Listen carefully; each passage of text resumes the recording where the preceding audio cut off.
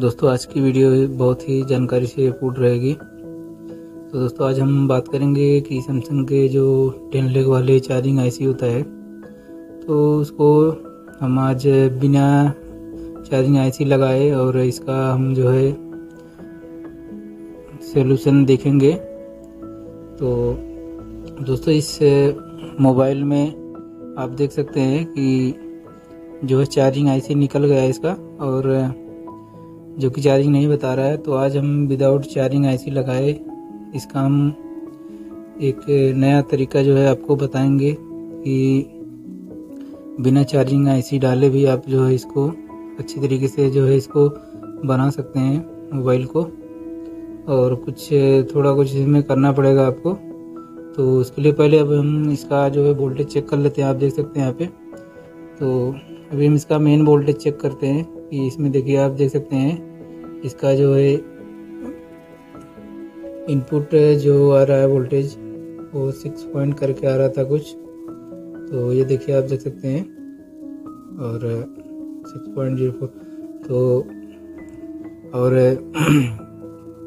आज हम इसको जो है, बनाने वाले हैं।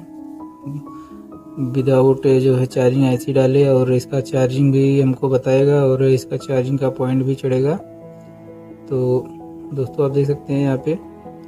तो चलिए आपको हम दिखाते हैं को, को इसको किस तरीके से हम जो है इसको रिपेयर करेंगे और विदाउट चार्जिंग आईसी डाले जो हम इसका जो है सोल्यूशन करेंगे।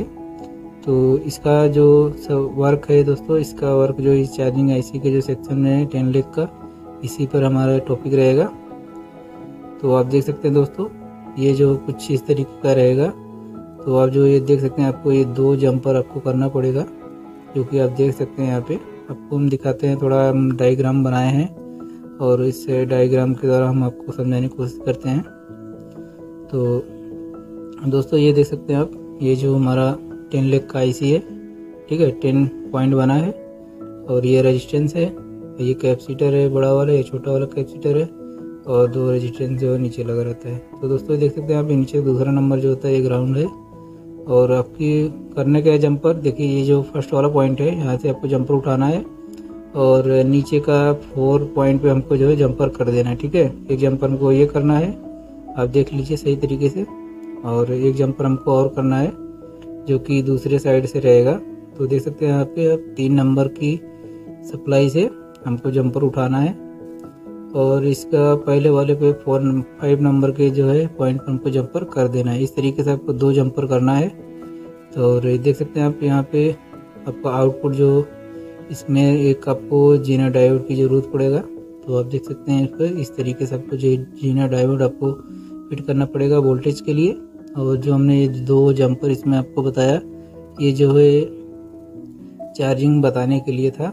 ताकि मोबाइल जो चार्जिंग बताए और उसका वोल्टेज जो हमें मिलेगा वो जीनर ड्राइवर के द्वारा हमको मिलेगा।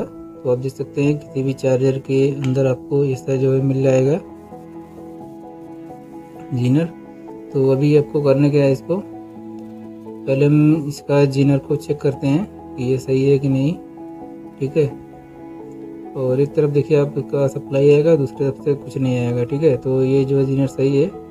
तो चलिए इसको हम अभी इसमें लगाएँगे और फिर आपको दिखाएँगे कि ये किस तरीके से वर्क करता है। तो उससे पहले हम दोस्तों इसका जो है जंपर करेंगे। ये जो चार्जिंग आईसी का पॉइंट है, इस टेन लेग का जो बताया आपको किस तरीके से जंपर करना है तो जंपर आपको दिखाते हैं। देखिए दोस्तों, ऊपर से हमने जंपर उठाया फोर्थ नंबर पर सप्लाई पर दिया था। उस तरीके से आपको जंपर कर लेना है। और ये देखिए तो अभी हम चार्जिंग चेक करेंगे कि चार्जिंग शो हो रहा है कि नहीं। ठीक है, पहले तो हम चार्जिंग को चेक करेंगे। तो इसमें जो चार्जिंग शो हो रहा है तो इसमें आपका ना तो बैटरी का कितना परसेंटेज चार्ज है, ये नहीं बताएगा। और लेकिन ये बताएगा कि मोबाइल चार्ज हो रहा है, ठीक है। और दोस्तों, एक सेट और मेरे पास था। मैं इस पर भी यही वर्क काम कर रहा हूँ। दोनों में सेम प्रॉब्लम था। तो दोनों सेट मैंने बनाया। और देखिए, अभी तो इसका हमको जो है चार्जिंग का जो सिंबल होता है, वो बताने लगा है, लेकिन अभी हमको इसमें प्रॉपरली जो है वोल्टेज नहीं मिलेगा, ठीक है? देखिए टू पॉइंट फोर थ्री का वोल्टेज आ रहा है, जो कि काफ़ी कम है तो ये चार्जिंग सिर्फ़ शो करेगा, लेकिन इसका जो है चार्जिंग स्टोर नहीं कर पाएगा बैटरी में। तो इसके लिए आपको जीनर की आवश्यकता पड़ेगा। तो चलिए, हम इस जीनर को इसमें लगाएँगे और फिर आपको दिखाते हैं इसका वोल्टेज भी बढ़ जाएगा। तो दोस्तों, आप देख सकते हैं, ये जो हमारा जीनर है, एक तरफ़ ब्लैक है, एक तरफ़ खाली है। तो ये जो हमारा प्लस के पॉइंट पे जाएगा बैटरी का और ये जो चार्जिंग पिन के पॉइंट पर जाएगा, ठीक है? तो चलिए दिखाते हैं आपको। ये देखिए दोस्तों, हमने इसको, आपको दिखाने के लिए सिर्फ़ सेट किया है। और जो कि हमको यहाँ से जंपर करना पड़ता था लेकिन हम दिखाने के लिए आपको जो है वाइब्रेटर मोटर के जो प्लस वाला पॉइंट होता है, वो भी जो है बैटरी कनेक्टर का प्लस ही पॉइंट होता है। तो वहाँ से हमने जंपर इसको किया है। और फिर अब जो, देखिए, इसको हम, इसका वोल्टेज आपको चेक करके दिखाते हैं कि कितना इसमें वोल्टेज आ रहा है। दोस्तों, अगर ये वीडियो आपको अच्छा लगा हो तो लाइक करिएगा और चैनल पर अगर आप नए हैं तो चैनल को ज़रूर सब्सक्राइब कर लीजिए, क्योंकि ये वीडियो यूट्यूब पर कहीं नहीं मिलने वाला है। तो चलिए हम दिखाते हैं आपको।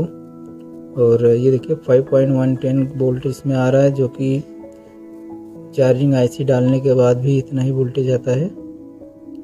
तो चलिए भैया हम इसका बैटरी को इसमें लगाते हैं और फिर आपको दिखाते हैं चार्जिंग ईरर या चार्जिंग का प्रॉब्लम तो कुछ नहीं आ रहा है इसमें। तो दोस्तों, ये देखिए, हमने इसमें चार्जिंग पिन को प्लग इन किया और देखिए चार्ज हो रहा है। चार्जिंग बता रहा है और जो कि सही है। और तो दोस्तों, अभी हम इसको सेट को ऑन करके चेक करते हैं क्योंकि कभी कभी चार्जिंग का आईसी का फॉल्ट रहता है तो चार्जिंग एरर का ऐसा प्रॉब्लम कुछ आता रहता है तो वो भी देख लेंगे। तो सेट को अभी हमने ऑन किया है। और देखते हैं इसको।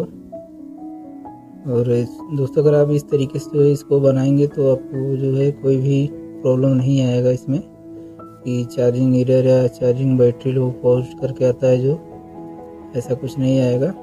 तो ठीक है दोस्तों, हम निकाल के इसको फिर से इसमें फिट करेंगे। देखिए, चार्जिंग को हमने लगाया, तुरंत जो है चार्जिंग इसका उठा लिया। तो कहने का मतलब यही था, वो जो हमने दो जंपर उसमें किया था, वो जो है चार्जिंग का जो प्लगिंग मतलब चार्जिंग लगाने पर जो सिग्नल रहता है सीपीयू को, वो उससे दोनों दोनों के द्वारा जाएगा।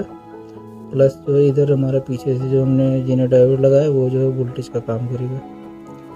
तो दोस्तों, अगर वीडियो अच्छा लगा लाइक करें शेयर करें। अगर आप चैनल पर नए हो तो चैनल को ज़रूर सब्सक्राइब कर लीजिए। और, क्योंकि बहुत मेहनत लगता है ऐसा वीडियो बनाने में, क्योंकि काफ़ी रिसर्च करना पड़ता है। और दोस्तों, हम वीडियो के अंत में आपको इसका डायग्राम का हम इमेज दे देंगे इसका आप स्क्रीनशॉट करके रख लेना, क्योंकि बाद में जो है, ये काम आएगा।